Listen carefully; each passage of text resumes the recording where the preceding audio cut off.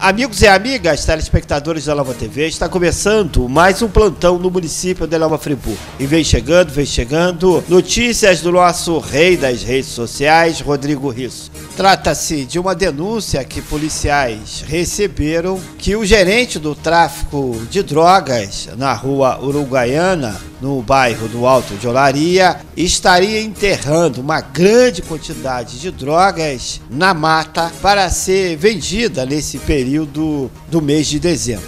Policiais então se dirigiram até o local.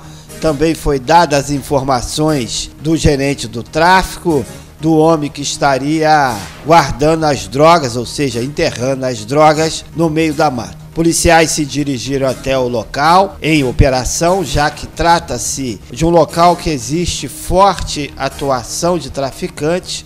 Diversos confrontos já ocorreram na localidade contra os traficantes. Ao chegar no local, os policiais perceberam que o homem estava fugindo ao perceber a presença da polícia. Os policiais então embrearam na mata a fim de tentar encontrar algum resquício, algum vestígio de onde o traficante teria enterrado as drogas. Os policiais então perceberam no meio da mata que havia um local com terra mexida. Ao começar a escavar, os policiais encontraram 5.544 sacolés de cocaína. É isso mesmo, meus amigos, minhas amigas, telespectadores da Nova TV. 5.544 sacolés de cocaína. 2.500 sacolés constavam o valor de 10 reais. Outros 1.350 sacolés com valor de 20 reais. 1.054 sacolés com valor de